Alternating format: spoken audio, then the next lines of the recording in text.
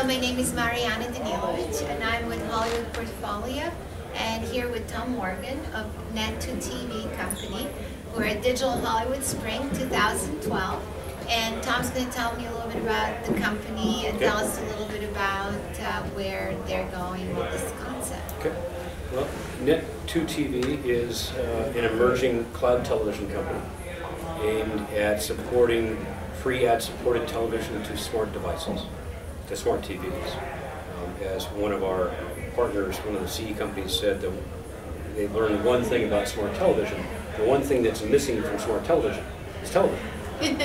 That, that really is the killer app uh, from a connected device uh, kind of play.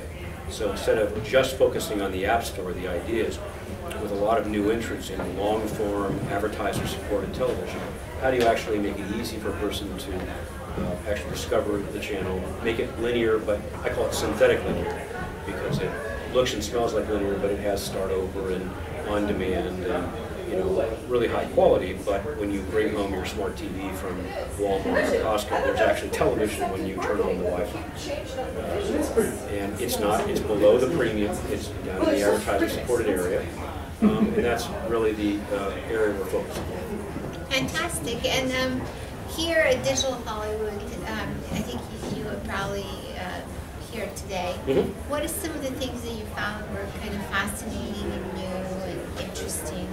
The, the interesting part is is the emergence of a new class of publisher and programmer. I call them programmers. You know, publishing is where I come from print long, long time ago, and programming is, is what you watch when you watch TV. So that's my focus.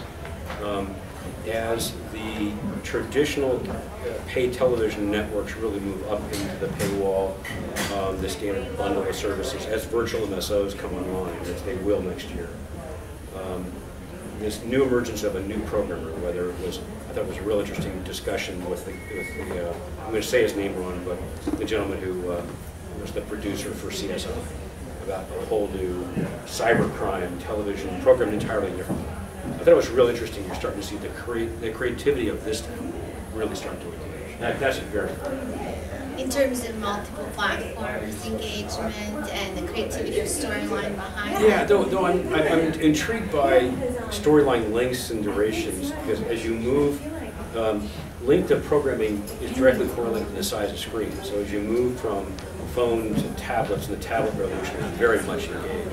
Then as you move to the big 60 inch that are at Costco and everything else, um, I think the consumer is expecting a full storytelling experience or a full information experience.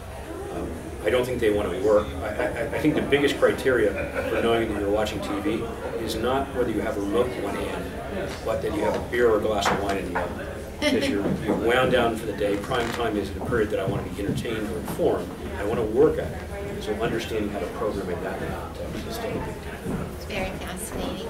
Anything else you'd like to share with our viewers about where digital media, um, what's happened with digital media in this last year or so? Well, I, I, I actually spent a year working on a virtual MSO with a large international company, and I can tell you that the concept of, you know, people talk about cord cutting, I don't really worry about that, but the idea that true, full-on TV everywhere, in the truest sense, based linear television and on-demand television and functionality will come to these connected devices.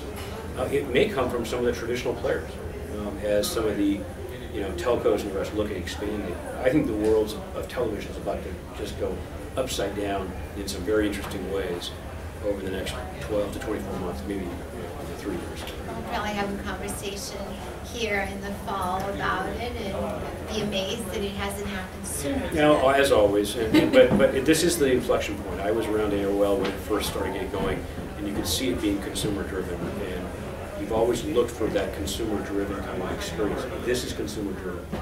Um, and it's not just 18 to 24-year-olds doing droids and tabs.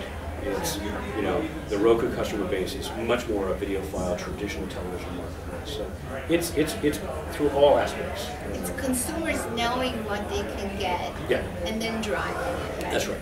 And you know, the television programming paradigm isn't broken.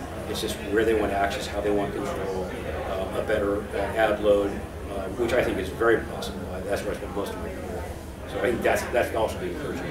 You can do more with less in this world. That, that's helps great. So, You can target. Yeah, yeah, and and make more relevant, make more engaging, make more responsive. So there's a lot more, it's a very, very encouraging landscape. It's, it's a good time for us. It is a good time. Being in this business for a Absolutely few. I haven't had this much fun in a long time. That's good. Well, thank you so much for sharing that Sure, with us pleasure. and with our viewers. Good to see you. Thank you. Good to see you, Tom. All right. Okay. As